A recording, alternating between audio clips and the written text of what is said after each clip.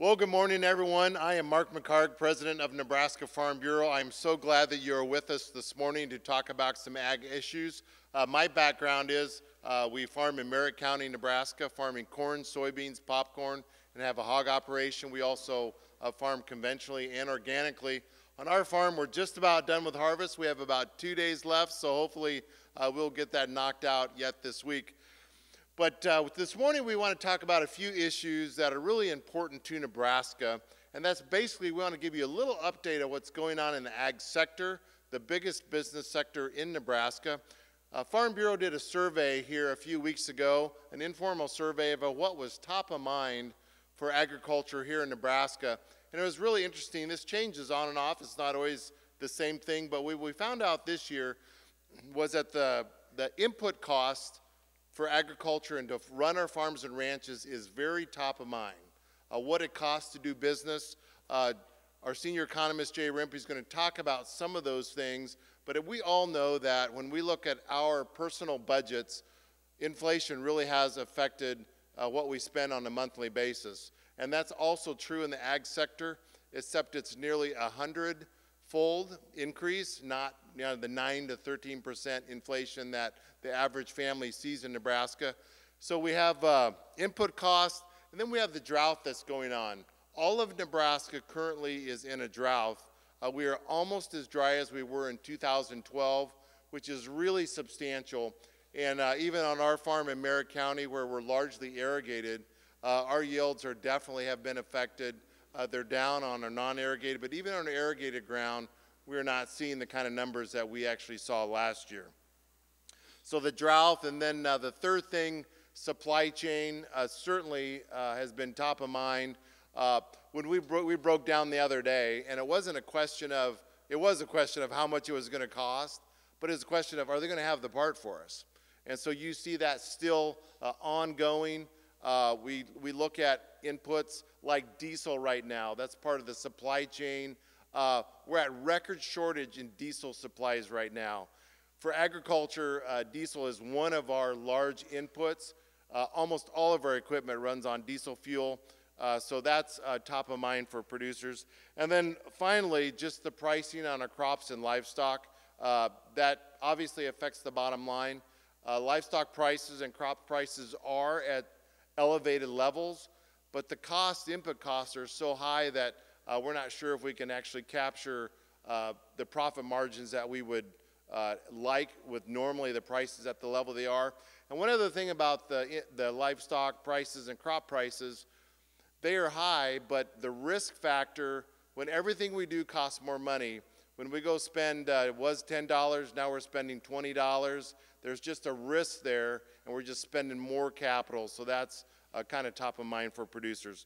So to kind of parse this out a little bit more, I'm going to turn this to uh, Jay Rempe. He is our senior economist at Nebraska Farm Bureau, and we're really happy that we have economists on staff that could actually dig into these numbers and help us understand what's going on in Nebraska. So, Jay?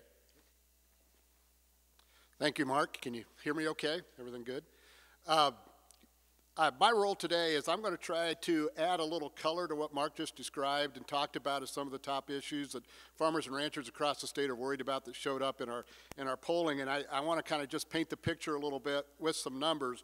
And I, am going to start with the drought. We know we have the, the drought monitor. We all see that. It's pretty popular out there.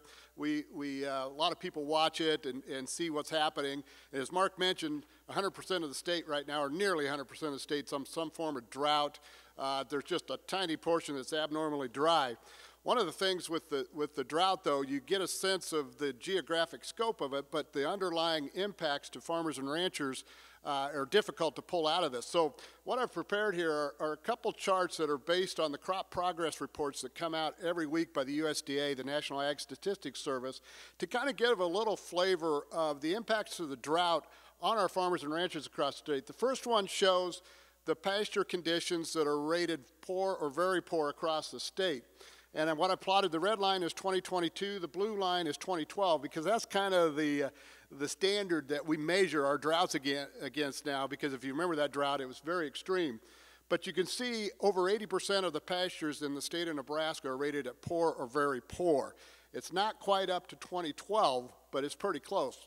Uh, in 2012, we were up about 95, 96%. So uh, unfortunately, we're getting at levels that are close to 2012.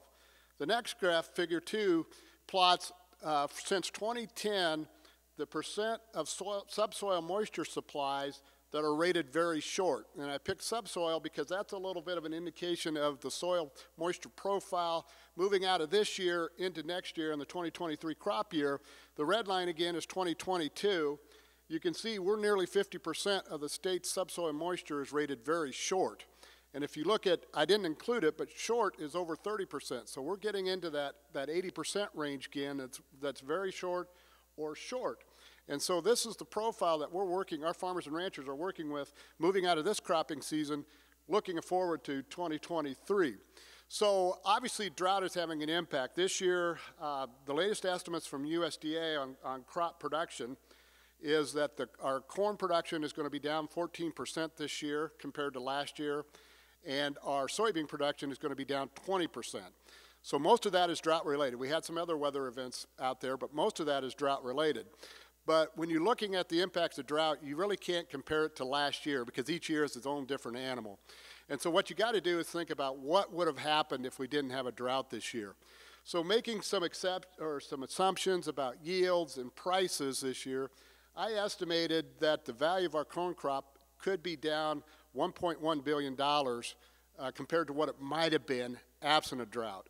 The value of our soybean production down 675 million, and the value of our wheat production, which was down 31%, or I'm sorry, 29% this year, uh, down over 100 million. So when you total that all up, it's almost $2 billion in the value of our crop production this year compared to what might have been absent a drought if you looked at trend yields and the like and, and make some assumptions of prices. So that is a lost opportunity for this state of Nebraska, not only for our producers, but for our rural communities and the spillover effects out into our rural economies. So that's, that's something that's missing this year that normally we as a state might have had in terms of economic activity that we're not going to have this year. And so again, that's just an estimate. It's just kind of trying to figure out what might have happened. It doesn't include, it could be even higher because it doesn't include some of our other crops like grain, sorghum, sugar beets, uh, sunflowers, all those. And then the other thing, it doesn't account for crop insurance. Crop insurance will offset some of that. Uh, the, the latest projections I saw suggest that crop insurance payments will be up 500 million this year for the state of Nebraska because of drought. So there'll be a little offset, but still you're looking at a pretty significant impact to the state. Uh, for cattle producers, a little different question, particularly for our cow-calf producers. Uh, when you look at the pasture conditions, they're obviously the capacity of the pastures to run their cattle are down significantly. Alfalfa production is down over 20%. Hay production is down almost 20%. And so they're looking at a shortage of feed, of forage for, the, for their animals. Corn costs are a lot higher. Distillers grain costs are a lot higher.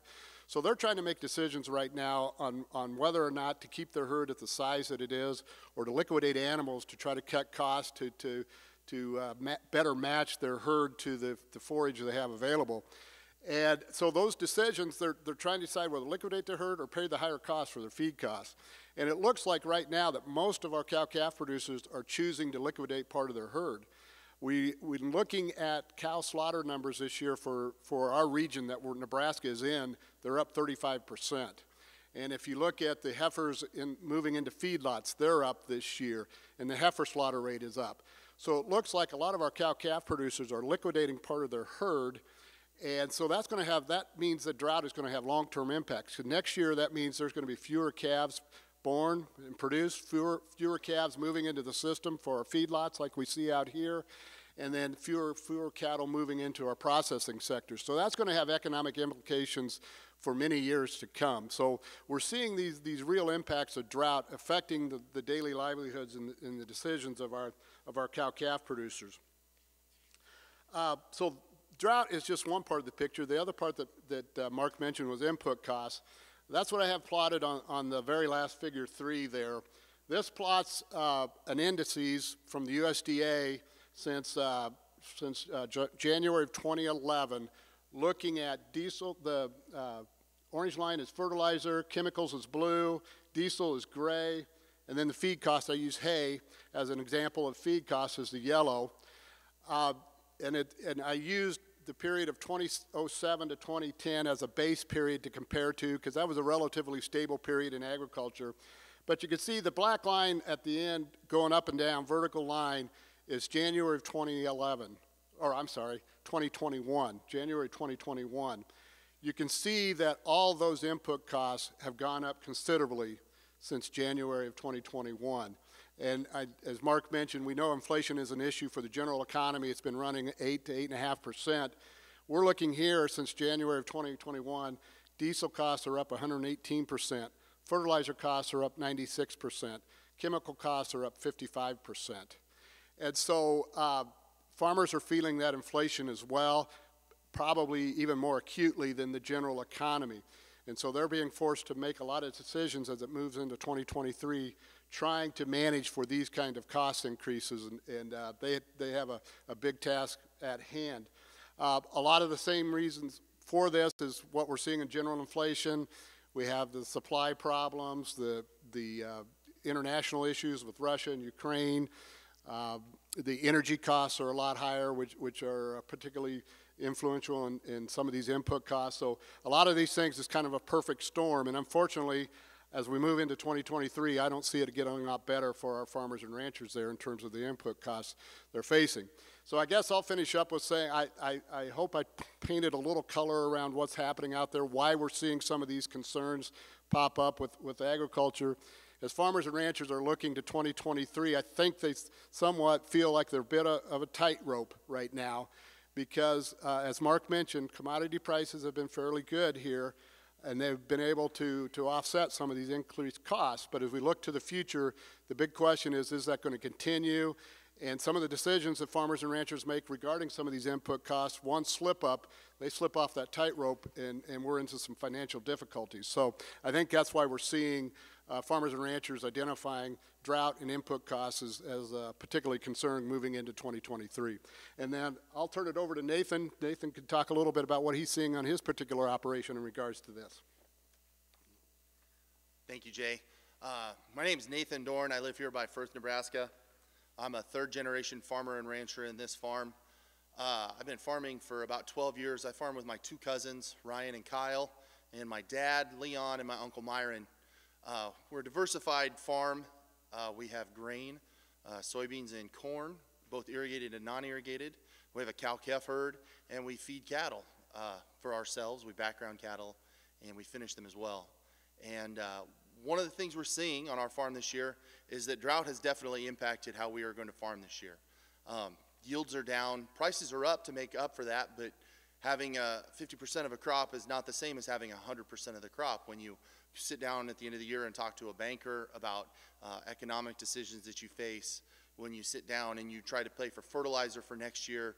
Um, seed prices are up uh, year over year, over $13 an acre from what we were paying last year. Um, all of those things are going to affect my pocketbook. All of those things are going to affect um, whether or not I can go out and upgrade my machinery, whether uh, affect whether or not I can go to my local town and spend money um, in the marketplaces there. And so as a farmer, it's very difficult to see. Um, every year we have to balance economic decisions with agronomic decisions. Are we going to put fertilizer on our fields or are we going to um, hold off? Um, what's the cost benefit analysis? And this year we're not making agronomic versus economic decisions. We're making e poor economic decisions versus very poor economic decisions. Um, nothing seems to be working right as far as penciling out the numbers. Diesel prices, as Jay talked about, are up 100% over, year over year, more than 100% year over year, and that's something that's going to affect us going forward. Um, when we took, talk about the pasture conditions, poor versus very poor, um, that is directly affecting our herd. And it's affecting whether or not we get to keep cows. Um, we're not retaining any heifers. We don't retain heifers anyway, but we're not buying young cows. We're keeping everything another year, and so our herd gets older and becomes less valuable. Um, you know, the, another thing that we don't talk about is the fact that my, I'm not going to pay as much taxes this year because when we don't have the yield, we don't have the grain to sell, we don't have the cattle to sell, and we have, uh, we have an economic impact that way. And so the accountant and I will sit down and pay fewer taxes. Uh, my banker and I will sit down and talk about how much money we're going to need to borrow for next year and whether that's something that is, is feasible Are we going to make decisions um, based on, on good years or bad years? And we hope that next year is another good year. We hope that we return to trend line yields, but that's something that we can't, we can't uh, guarantee when we look at the subsoil moisture as, as we go into next crop year. And so those are all decisions that are going to affect uh, farming, not just the rest of this year, but into 2023 and beyond. So that's what I have. Appreciate you. I'll turn it back over to Mark. Thank you. All right, thank you, Nathan. Thanks, Mark. Well, really, we really appreciate Nathan opening up his, and his family opening up his farm. Uh, we're in his shop here, and it's a working shop. And uh, obviously, we don't want to keep him too long because we know he probably's got work to do. But uh, we at Nebraska Farm Bureau, uh, we deal with these issues every day, and it's our job to advocate for the Nebraska farmer and rancher. And so that's the reason we've called the press conference today, just to get everybody a flavor and update of where agriculture is at. And one of the questions that I get all the time is, if you're not in agriculture, why does it matter? Well, it matters because just like Nathan said, uh, we are the largest business sector in Nebraska. Uh, a lot of the taxes or property taxes that we pay uh, go into the school systems or income tax, and it takes that strong tax base to make uh, Nebraska budgets work. And so that's one thing. But secondly, uh, we're all involved in agriculture because we eat food every day, and that's what we're in the business of doing is providing food for those of us in Nebraska and around the world. And uh, we're proud to do that, and we're happy to do that every day. thank you for being here.